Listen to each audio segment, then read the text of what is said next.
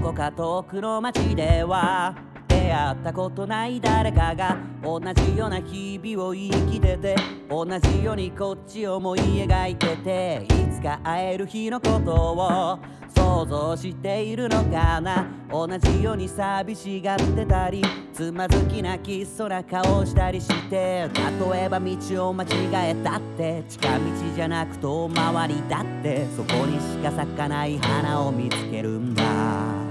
どんなに他の人たちより遅くたって笑って話せる思い出の数で誰にも負けない日々を過ごすんだ。